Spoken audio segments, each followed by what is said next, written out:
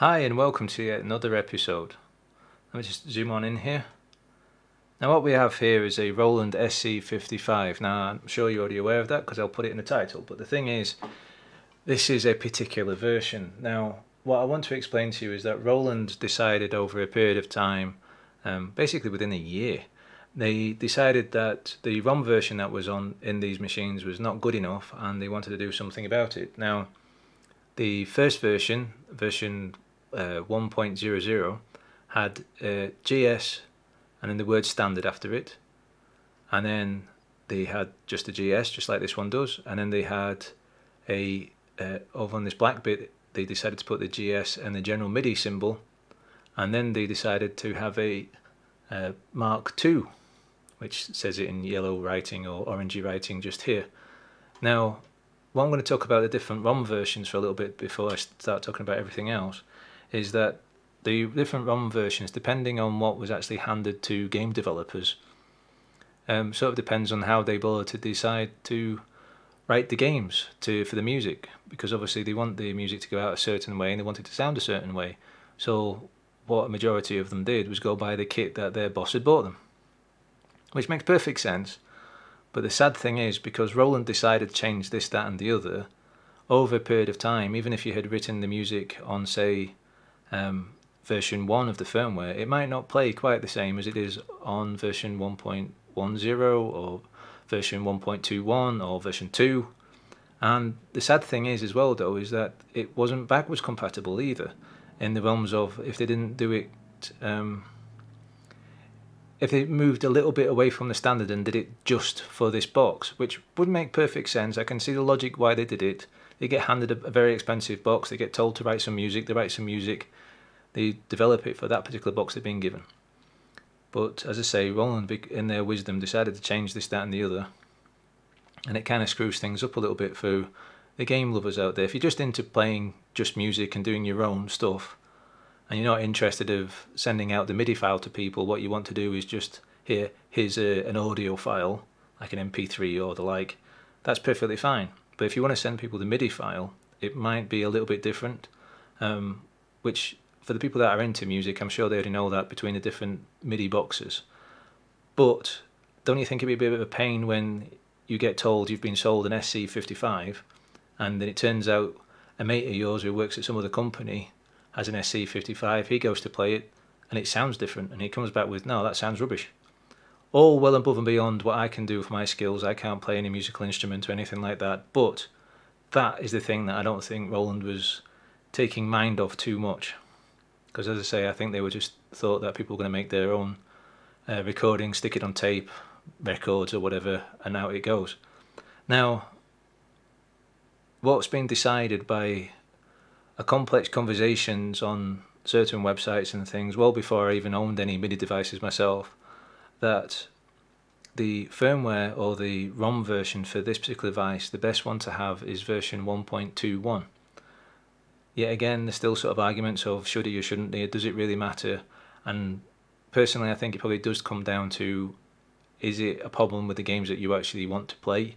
Not games that are in a vast library of yesteryear games, but games you actually want to play um, versus even if it's on like not MS DOS games at all, it's uh, X68000 machines instead that's for you to do the research and for you to argue it out with and everything like that. Again, all I'm doing is going by it's been decided that um, version 1.21 is probably the best one to have. Um, I managed to get hold of this box, which is a version 1.20. I knew I was roughly going for the correct one because I was looking at the logos on the front. But before I actually purchased it, what I did do is ask the seller to do a little trick you can do on the front panel to tell you what version of firmware it is on because the initial versions of um, these boxes used to be a sticker and it had uh, like three rows of um, 0 to 9 on it and then a little red dot on the different ones and from there you could tell which one it is. Here there's no sticker so there's definitely you need to be doing the little trick on the front panel. Now I'll explain the trick. First you stick some power into it and as those that already own one of these, you'll know as soon as you stick power into it, it turns the screen on. but what you want to do is actually put the screen into standby and then you want to press the following four buttons the the two instrument buttons and the two MIDI channel uh, buttons all at the same time now it can be a bit of a fun game in itself to manage to do and as we can see here I've got version 1.20 it doesn't stay on for too long but it gives you enough time to read what version you've got. Now obviously as I'm sure you've already guessed and figured out with your Sherlock like mind I'm going to be doing a ROM update. So what I'll do is get my new chip pullers or IC extractors, whatever you want to call them.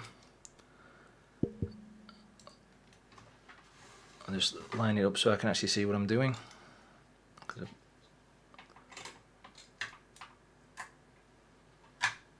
we go. It locked on and then screw this thing in. I've only had these for well, a few hours quite frankly. But what I like about them is that you don't have to concentrate so much about the squeezing of the, the size, you can just do it up.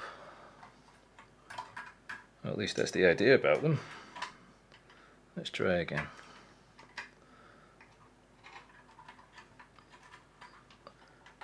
Let's hope I don't bend any legs because this is irreplaceable, quite frankly.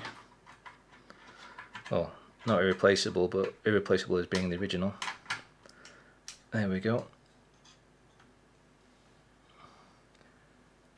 Wasn't so difficult, and probably made a bit of a hash of it. For those that don't know, I'm explaining, but I realise most people do know if you're already watching this video, that the chip to replace with, you should always make sure that the notch or the little dot, the original had a little dot there, along with the way that the uh, chip holder actually has. It's got a little notch there so I'm lining that up. Now as I'm trying to squeeze this into here and getting all the legs in the right places which nearly wasn't the chip to use for the programming chip is an EEPROM is a 27C020 or 27C2001 now I'm actually using the 27C2001 so I could get my hands on I believe that's in there now. Just let me double check on the other side because obviously I don't want any bent legs or anything like that. It seems to be fine. Now before I plug it in to let's see if it works, one thing I do want to mention is that the the uh, coin battery that's here, that should definitely be replaced. If you haven't replaced it yourself, then you should definitely replace it. Even if you think someone else has done it already, you should replace it yourself just to be 100% sure because the old versions get very, very cruddy. Now, the person I bought this off is a very good seller and everything like that, but the one thing that they didn't do, I didn't expect them to do, is to open it up and have a look at the battery. And as you can see, the battery, all that white stuff around the edge there is the battery leaking. So it's not nice to be having that inside a device because obviously it could leak and ruin the PCB so all you do is there's a little tang just at the top. You pull that back a little bit not huge amount of strength just enough so the, the coin's got clearance to come out. And then say with a, a plastic screwdriver or very delicately with a metal screwdriver ease the battery up from below there's just enough room to do it. And then obviously it slides out remove it and stick in a new battery. And the battery in question is a CR2032 that's a CR2032 standard battery really. If you're into computers you've been sticking them in motherboards for years um, but let's stick some power in the back of this. With the, right, the correct power supply unit of course. I don't want to do the wrong one. There we go it's lit up again. So I'll make sure I've got a bit of focus. Stick it into standby. Try to do this magic thing of pressing all three buttons at sorry all four buttons at once. There we go and I've got version 1.21 so from the great knowledge of the internet I supposedly have the best firmware to have in a SC a Roland SC55 um, for playing games with uh, MS-DOS games so I hope you found that interesting what I will do is uh, sort out my MIDI tower because obviously I've got to stick this into my MIDI tower as well. I'm going to get that going and in, in some oncoming videos I'll be showing the differences between the different MIDI devices that I have with different games, say like Monkey Island and whatnot. Not too long of it because obviously I don't want YouTube throwing a wobbly and I'm playing someone else's music, but it will be from the computer games themselves. Um, just to give you an interest of what you could hopefully hear in the future is that I've got a Roland MT32 version 1 and then I've got a Roland CM64 it too can act like a uh, MT32 but it acts like the um, second version which there is slight differences as I said with Roland earlier on they seem to like changing what was actually happening with their devices without actually telling anybody um, then I have this one I suppose in the line of the Roland uh, lineup but then I also have a Roland SC55 Mark II then I have a Roland SC88 Pro. And then I've got a Yamaha MU80. And if you're still listening, I've got a Korg NS5R. But I've also got stuck in that a Dream Blaster X2, which is great because it means basically it turns that uh, Korg NS5R into, well, other um, MIDI devices because I can actually flash it with um, different sound banks and it, it gives me a lot of uh, capability along the way. Um, people do ask of why do you bother to have so many different MIDI devices, um, especially since they know that I'm not, I can't play a keyboard or I, you know, I, I can't do anything with music really. I, I, like listening to it, but I can't actually create my own. Um, well, the reason is is because, as I said, really, is that the the games developed over the years, and as they developed, they started using newer, and newer um, box of chips. Really, they you know it was the the way that they they sounded at the time, and they used what was given to them, and they sort of expect you to have the same bit of kit. And if you don't have the same bit of kit, or at least something very close to it, you're not going to hear it the same way as the musician wanted you to hear it. Um, obviously, there's the whole thing of which amp are you using, which speakers are you using, and so on and so forth. I realise that's something, but something that goes down a whole different line of uh, suck it and see really. Um, came, comes down to personal preference. I've got um, quite decent speakers that I like to play these on. So the the computer speakers, but they're, they're sort of high up in the range of the Logitech range. Um, so that they, I enjoy playing modern games on them. So I don't see why I wouldn't enjoy playing the older style games on them because the the better speakers than maybe what they were back in the day um, for that sort of size, I suppose, because I've only got enough room for small speakers.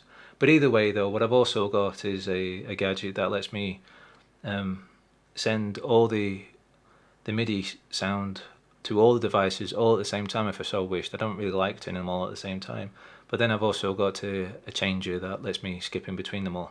So hopefully that's put you some interest of hanging around and waiting for the next video so from the MIDI side of the videos that I want to do. But for now, happy gaming.